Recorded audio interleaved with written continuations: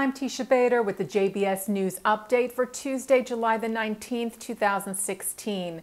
Israeli Prime Minister Benjamin Netanyahu spoke today at a ceremony marking 10 years since the Second Lebanon War. At the memorial held at Mount Herzl in Jerusalem to remember the IDF soldiers who fell in battle in 2006, the Prime Minister warned that although the border has been relatively quiet with Lebanon since then, Israel was ready for any scenario. Warning terror group Hezbollah, Netanyahu said if our peace is kept, those who stand against us will also enjoy peace. Adding that anyone who thinks they will find a spider web will receive an iron wall, an iron fist. Netanyahu also referred to recent deadly attacks in Israel and across the globe. He said this terror strikes not only Sarona Market in Tel Aviv or Otniel settlement, referring to the West Bank. He said it strikes in Paris and Nice, Brussels, and Orlando. We are in a global campaign, just as we are well aware of the character of the threats, so we are preparing for every contingency. The president of Paraguay, Horacio Cartes, is in Israel this week. He is the first Paraguayan head of state to visit the country. Cartes met with Israeli Prime Minister Netanyahu and signed several statements of cooperation with Israel in various fields. The visit follows the reopening of the Israeli embassy in Paraguay about a year ago. Paraguay is known among South American countries for its support of Israel, in particular at the United Nations, and in particular, both Netanyahu and Cartes noted Paraguay's yes vote at the historic vote at the UN in 1947 on Israel.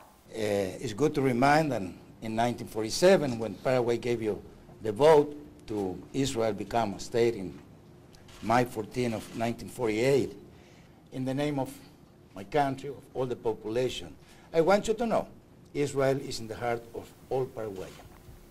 And some 250 parliamentarians and experts from around the world attended the Global Forum for Combating Anti Semitism held this week in Argentina. This is the first time the international gathering has been held in Latin America. Also, for the first time, the forum was co organized by a non Jewish group, the Hispanic Israel Leadership Coalition, which is an evangelical Christian organization, together with Israel's Ministry of Foreign Affairs and the Latin American chapter of the World Jewish Congress. Among those in attendance at the forum, held in Buenos Aires, U.S. Special Envoy to monitor and combat anti Semitism, Ira Forman, as well as Argentinian Vice President Gabriela Michetti. The biennial gathering aims to assess the state of anti Semitism globally and determine societal and governmental response to combat it. And yesterday, attendees from the forum joined the Jewish community in the capital to mark the 22nd anniversary of the 1994 terror attack at the AMIA, the Jewish Community Center of Buenos Aires, which left 85 people dead and hundreds injured. France named its new ambassador to Israel. She is Hélène Le Gal, and she is the first woman to ever hold the post. Le Gal is scheduled to arrive in Israel in September, replacing Patrick Maisonneuve, who has been the French ambassador since 2013. Le Gal previously served as first secretary in France's Tel Aviv embassy and at other posts across the world.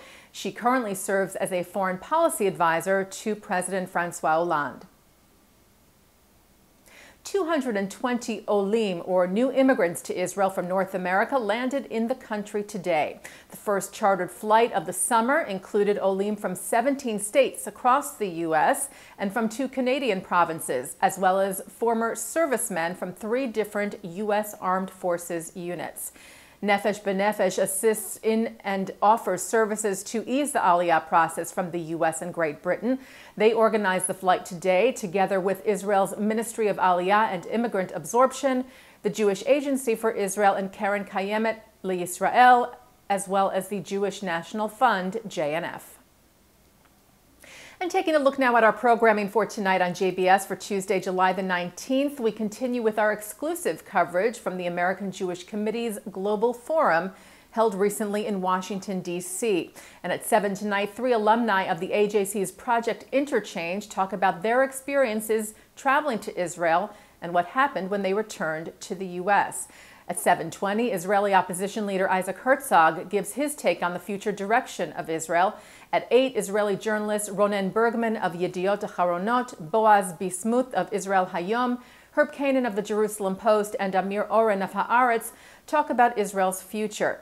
In other programming tonight at 9 o'clock, Mark Golub sits down with Soviet Jewry hero Yosef Mendelevich. And coming up right after this newscast tonight at 6.30, Mark speaks to Aaron David Miller of the Woodrow Wilson Institute, who discusses the failed military coup in Turkey and the prospects for peace in light of the Middle East Quartet's report for the first time referencing Palestinian incitement as a roadblock on tonight's In the News. And that's the JBS News update for Tuesday, July the 19th, 2016. I'm Teisha Bader.